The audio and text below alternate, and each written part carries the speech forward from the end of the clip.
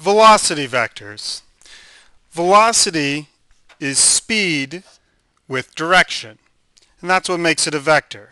The magnitude of the velocity vector equals the speed. Let's take an example.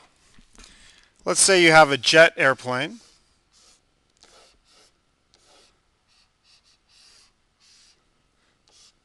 And let's say that it's going at an angle of 45 degrees. And it's 200 meters per second speed. And let's give it some uh, rocket power in the back since it's moving at a pretty good clip. And we want to know, or more specifically, there's a farmer on the ground. Farmers are great observers. And the farmer is watching the shadow of this plane move and he's wondering how fast is this shadow moving?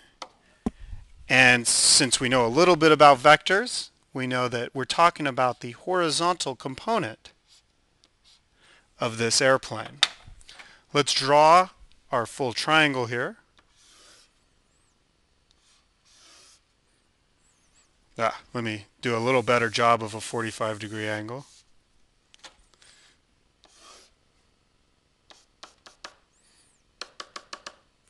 So the angle is 45 degrees and the hypotenuse, that is the magnitude of this vector, is 200 meters per second. So we want to know how fast is the shadow moving? In other words, what is the x component of this velocity vector? We can use the fact that cosine of an angle, in this case 45 degrees, equals the adjacent side divided by the hypotenuse which is 200 meters per second. Now, let's isolate for the x component of velocity. So we will multiply both sides by 200 meters per second. Remember, what you do to one side of the equation, you have to do to the other side of the equation. If you slap one cheek, slap the other cheek.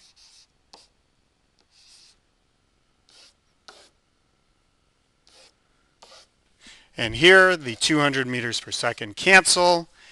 And I also know that cosine of 45 degrees is 1 over square root of 2. So 200 meters per second multiplied by 1 over square root of 2 is equal to 141 meters per second. And therefore, since this side is just the x component, I know that the shadow the farmer sees is moving at 141 meters per second.